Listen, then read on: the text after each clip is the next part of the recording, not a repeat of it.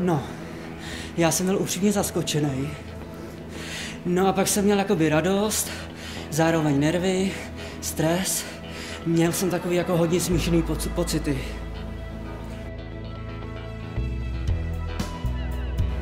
No já jsem nad tím tak trošku přemýšlel. Napadlo mě, že se mě asi bude ptát, jak jsem se k tomu dostal, jestli mě to bolí. No ale podle mě se mě bude ptát asi úplně na všechno. No popravdě já žádnou otázku na pana Krause nemám. No před natáčím, jakoby já jsem trošku nervózní, no ale snažím se, snažím se být v pohodě.